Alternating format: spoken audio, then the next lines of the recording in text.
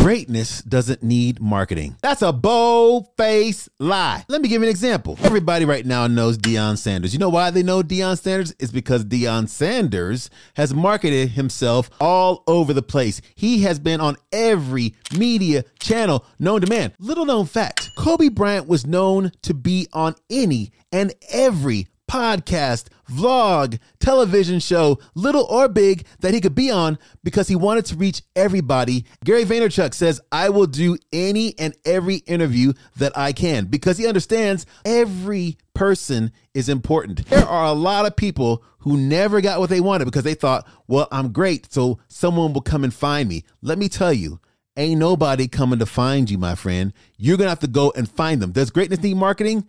Absolutely. So you better be like Deion, Kobe, and everybody else that you know be. Ooh, you like how I did that? And market yourself.